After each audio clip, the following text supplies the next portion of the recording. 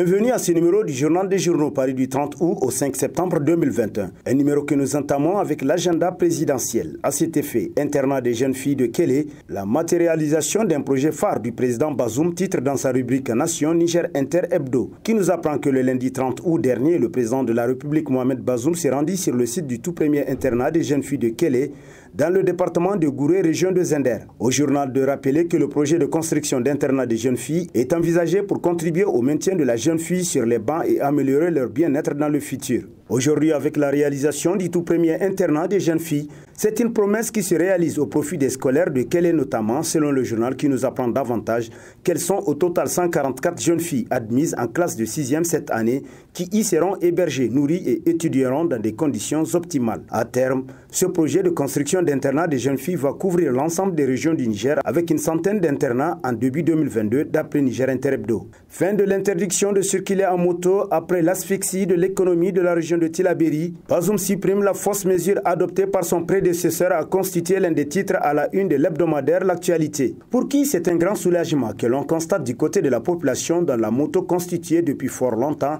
le principal moyen de leur déplacement dans cette vaste région. Cela fait des années que les populations demandaient la levée de cette fausse mesure qui servait de prétexte pour les autorités de l'époque, notamment pour restreindre certaines libertés des citoyens pourtant garanties par la loi fondamentale selon l'hebdomadaire qui se demande sinon de quelle avancée par le gouverneur de la région de Telabiri s'exprimant pour la circonstance sur les ondes des médias d'État au sujet de la levée de cette fâcheuse mesure. Ils sont nombreux les Nigériens qui avaient estimé que les auteurs et co-auteurs de cette mesure impopulaire qui a gratuitement ruiné toute une région seraient entendus par la justice pour le mal causé à la région qui compte désormais le plus grand nombre de chômeurs et d'exodants du pays d'après l'actualité. Lutte contre l'impunité des têtes vont bientôt tomber, titre à sa une le bimensiel L'étincelle qui nous apprend que rentré le 31 août de ses vacances dans son Tesquer natal, le président de la République Mohamed Bazoum est vivement attendu sur le sentier de la lutte contre la corruption et l'impunité. L'un dans l'autre, Mohamed Bazoum se trouve être entre le marteau et l'enclume, car en pareille situation et ou circonstances, généralement ce sont les menus frétins qui payent le prix en lieu et place des gros poissons selon le journal pour qui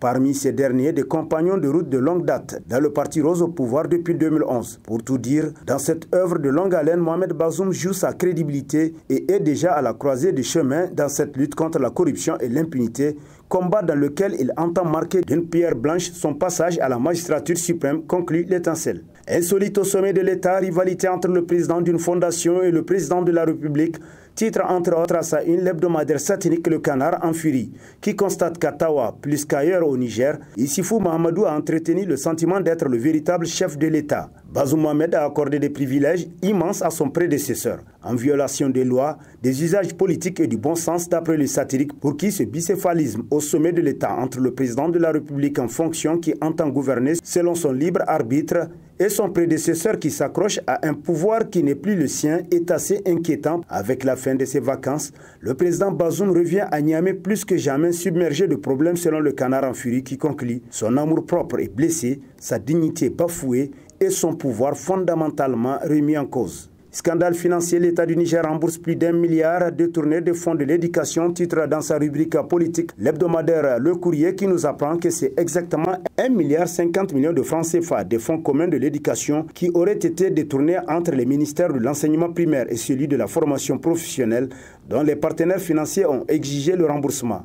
Aujourd'hui, ces choses faites d'après le journal pour qui, selon des sources crédibles, la menace des partenaires financiers de geler certains crédits aurait produit des effets. Ce sont près de 6 milliards de francs CFA que le Niger perdrait s'il ne remboursait pas l'argent détourné, nous apprend l'hebdomadaire qui renchérit à cause de l'insouciance et de l'esprit cupide et peu patriotique de certains de nos compatriotes qui ont une obsession pour la mise à sac des deniers publics. L'arrivée d'Issifou Mahamadou au pouvoir a fait naître une nouvelle race de Nigériens qui n'ont que le désir de piller les deniers publics pour se réaliser en construisant des immeubles dans chaque coin et recoin de Niamey. Des maisons que même l'État ne possède pas, constate le courrier pour qui alors il faut nécessairement l'avènement d'une véritable justice pour que le pays puisse se relever et sortir de l'impasse dans laquelle l'ordre ancien et ses partisans l'ont plongé. Réseaux sociaux et justice impératif d'ordre ou simple gel judiciaire Se demande entre autres à sa une l'hebdomadaire Le Nouveau Républicain, qui nous apprend que dans un communiqué rendu public le 31 août 2021, le bureau du procureur de la République près le tribunal de grande instance hors classe de Niamey a clairement exprimé ses intentions de poursuivre et de punir les auteurs des messages WhatsApp de nature à porter atteinte à l'unité nationale et à la cohésion sociale. Nobles intentions, diriez-vous?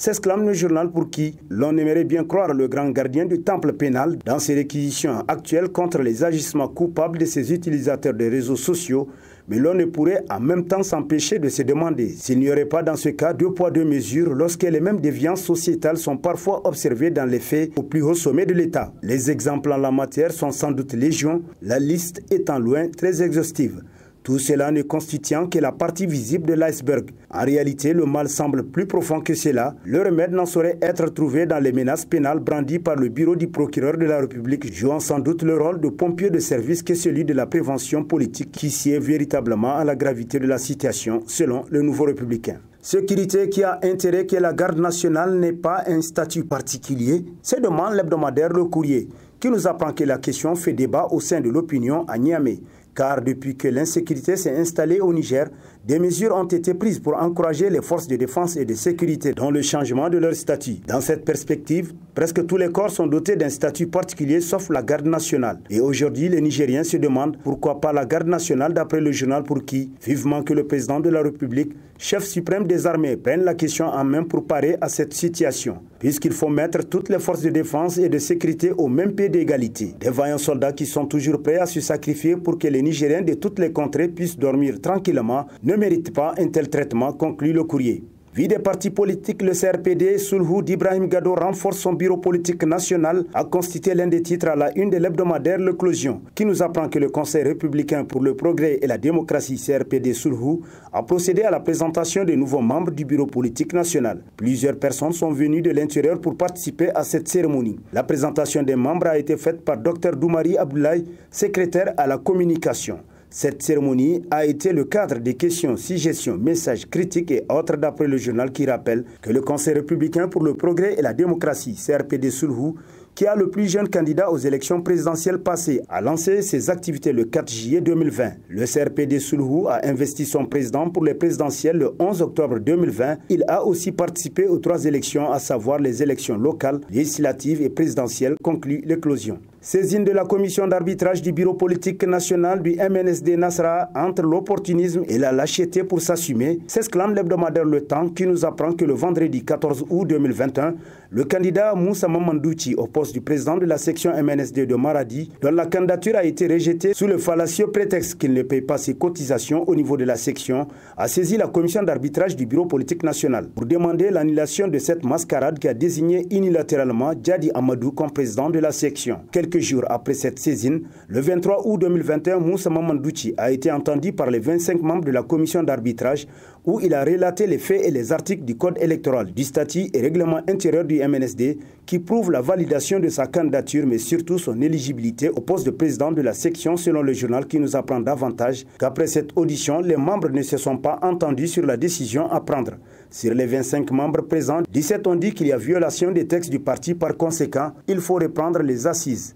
et aller vers des élections pour départager les candidats à défaut de consensus. Mais l'éternel Zeti Maïga, malgré qu'il a été requisé par Moussa Mamandouchi, car on ne peut être juge parti, aujourd'hui désigné comme membre de la Commission nationale des droits de l'homme, a préféré passer outre les textes du parti et convoquer à nouveau Moussa Mamandouchi le 24 août. Ce qui est inédit dans l'histoire du MNSD d'après l'hebdomadaire qui constate voilà un vieux que les militants du parti pensaient être sage, en plus censé défendre les libertés et droits de l'homme au niveau de la Commission nationale des droits de l'homme c'est lui-même qui encourage et cautionne la violation des textes du parti et les libertés et droits des militants du MNSD Nassara de la section Maradi. L'honorable député national Maman Haruna de Gaïa, un modèle qui inspire la jeunesse, titre dans sa rubrique Nation, l'hebdomadaire Niger Times, pour qui tel un engagement qu'il a solennellement pris devant ceux du département de Gaïa, l'honorable député a décidé d'aller au-delà des simples débats à l'hémicycle lorsqu'il s'agit de défendre les besoins de cette population. Il se doit surtout de faire le terrain car beaucoup de gens l'estiment à juste titre.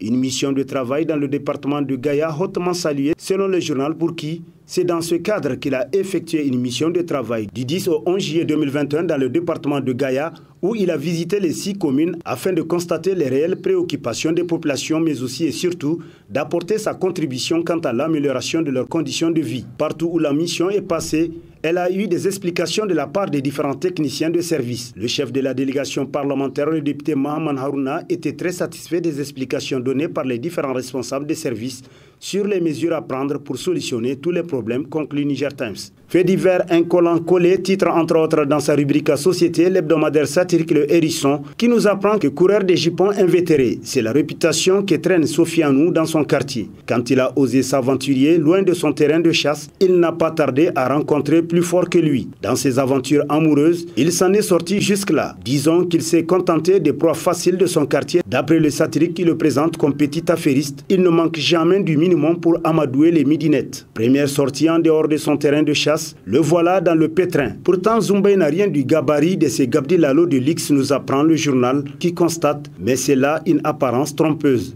Et Sofianou va la prendre à ses dépens. Il s'est collé à la petite lors d'une cérémonie de mariage. Comme une sanctuaire, elle a refusé de lâcher. Le lendemain de cette rencontre, Sofianou, qui n'a jamais découché, se retrouve comme un clochard dans une petite rielle en centre-ville sur un banc. C'est à cet endroit qu'il a passé la nuit, les poches complètement vidées selon le hérisson. Pauvre Sofianou. Et sur ce prend fin le présent numéro de la revue de presse. Prochain rendez-vous, plaise à Dieu dans une semaine avec toujours la même passion de vous servir. Bonne lecture et au revoir.